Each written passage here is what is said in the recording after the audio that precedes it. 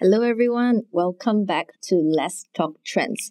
I'm Dawn, Content and Communications Lead of Lion Global Investors. Thank you so much for being with us here today. I'm excited to share yet another conversation with Ong Ai Ling, our Head of Artificial Intelligence of Investments here at Lion Global Investors. Welcome, Ling. Great to have you back. Hi, thanks very much. Very excited to be back. So, Ling, we have done a few podcasts now surrounding the topic of artificial intelligence and machine learning. So, today we want to get a bit more creative with our podcast format. So, okay. we want to jazz things up a bit. We want to do a round of quick fire questions with okay. you. okay. So, are you ready?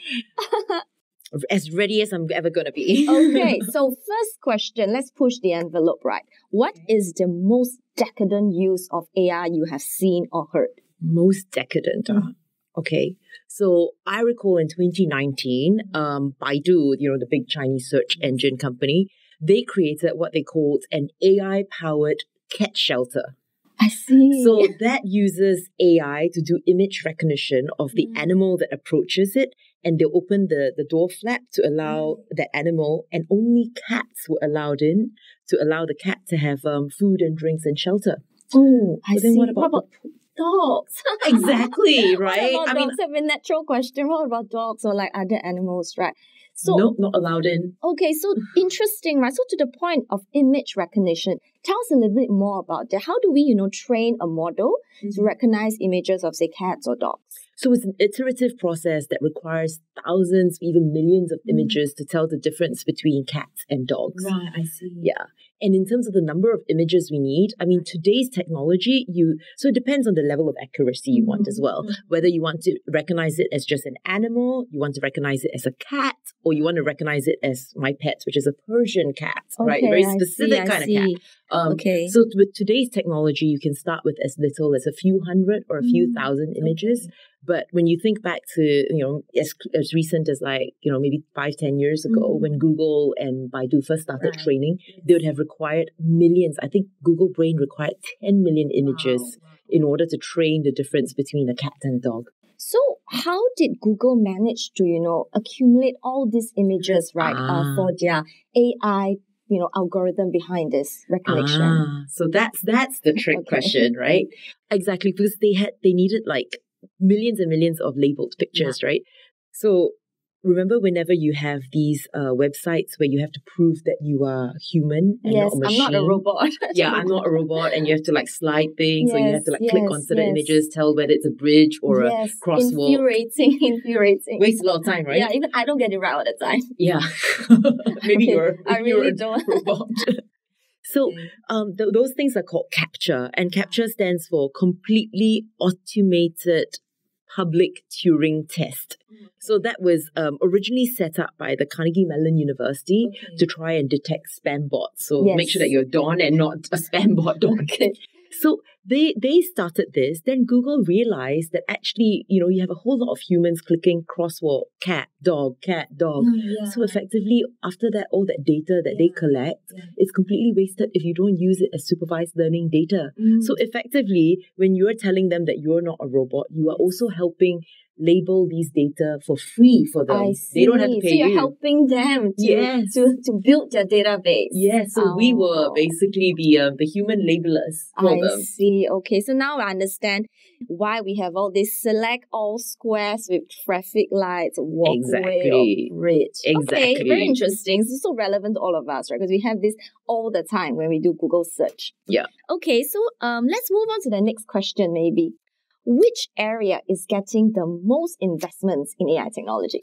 Um, if I'm not wrong, you would think it's something like elect- electric vehicles, or yes. sorry, autonomous vehicles, yes. right? But if I'm not wrong, um, last year in 20, 2020, we have the data for 2020, the area of focus was actually drugs, cancer, and molecular drug discovery. That got about mm. $14 billion of investment in 2020, um, which exceeded that of autonomous vehicles. Because okay. before that, it was autonomous vehicles. Everyone wants to fly drones okay, and okay. Oh, flying taxis, all that kind of stuff. Yes, interesting, right? Because obviously EV has a lot of, you know, make a lot of headlines in the news space. So, you know, let me tell us a little bit more, right, on this, like why, how did all this money go into, you know, drug discovery? Mm, so why did it go into drug discovery? We actually, I suspect, have COVID to thank for right, that. Right, because COVID showed right. the way of how you can use AI together with uh, artificial Mm. networks with genome data to help the scientists Mm. rapidly process the data sets and run simulations to predict how the immune system would react to various spike proteins. That's why we were able to create a vaccine in such short time. And it eliminates a lot of the trial and error process that you normally have in um, traditional drug Mm. research. So because of that, it sparked a lot of interest. And I think also because of that, there was a lot of investments Yes, into of course. COVID vaccines. Hence, that exceeded autonomous vehicle in terms of attracting the most investments. I guess that that completely makes sense, right? I mean, con- the pandemic has definitely changed, you know, a lot of things.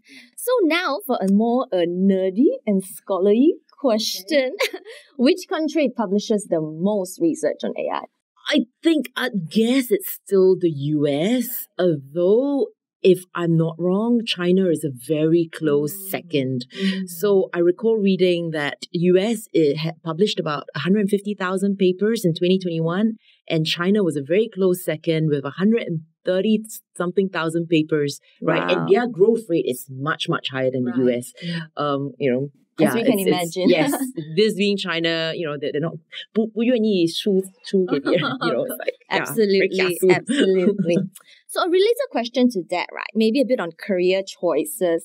Um, could be a bit late for me to pivot now, but For me, a bit late. but should no say not me. Maybe should our kids, of course you have children yourself. So should do you want your kids to study AI, data science, computer science? You know, is that the thing to be in the next ten to twenty years? Yes. So actually, it, it is a bit. It is a bit. Uh, it's a bit of a regret, right? Because remember, in one of the last episodes, I told you my dad asked me to study computer science, and I didn't. Yeah, yeah. But it's okay. I, I picked up computer science outside after university right. anyway. and you did law first. Yes, you did law exactly. first. So when it comes to my kids, I think I would still encourage them. Maybe not pure computer science, but Mm. artificial intelligence and machine learning, data science, because we're so lacking talent. So interestingly, you asked earlier, um, you know, which country published the most papers, right? So Singapore, obviously, because of our scarcity in humans, we're not one of the top in terms of absolute number of papers, but in terms of number of papers published per capita, so per human we have, Right. we are one of the top We're up there. We're up there in the rankings. Majulah Singapore. Yeah, so in, in Singapore, the demand for um the demand for AI, machine learning skill sets is very high. So um I read a thing on AI talent. So there was a research on AI talent. In 2020, about two and a half percent of all job posting required a need for AI skills. So we this is much higher than say in the US where it was less than one percent, or even in the UK or Australia. I think Australia was only half a percent of the posts. So increasingly, um, a higher and higher percentage of our job requirements are um, requiring AI skill sets. Okay. So if you want to interview for my team, you need to have AI skill is, sets which is well. great, right? It's exactly what you're doing. You're building a team here at Lion, doing AI, uh, developing homegrown talent. So, guys, you're accepting CVs now. yes, anyone who does AI in finance, quant finance, come Send please. it to us. We Send are it- desperately trying to hire over here. We'll send it and you know we're struggling to find good, uh, good, uh, good candidates. Yeah. Yeah. And Ling's a good boss. So that's a trick. Okay, so we're going to end this uh, podcast with a more technical question, right? Shall we? Um, is there natural language uh, processing for all languages? Um, I don't think it's all because there are over like seven, more than 7,000 recognized languages globally. And most NLP today are focused on the seven key languages that are widely spoken by most humans, which is obviously English, Chinese, and an interesting uh, French, Spanish, and then interestingly Urdu, Farsi, and Arabic. Interesting. Yeah, so th- th- those are the top seven languages. And uh, if we use Google Translate as a proxy, currently they support around 133 languages and they do OCR, which is opti- optical character recognition, for about 37 languages. And they support uh, audio and augmented reality for about 32 languages. So, no, we're nowhere near the 7,000. But I think I'd struggle to find a single human that says, you know, I don't understand what Google Translate says. Most Exactly. people do. Right. The machines, power of machines here for us. Well, thanks so much for being with us here, Ling. Always very insightful and very engaging to have you on the show. Appreciate your thoughts. So here we are at the end of the episode. Uh, you have been listening to Let's Talk Trends with me, Dawn Leong. If you like what you've seen, please subscribe to our show on YouTube, Spotify, Google Podcasts, and Apple Podcasts. Catch you guys next time.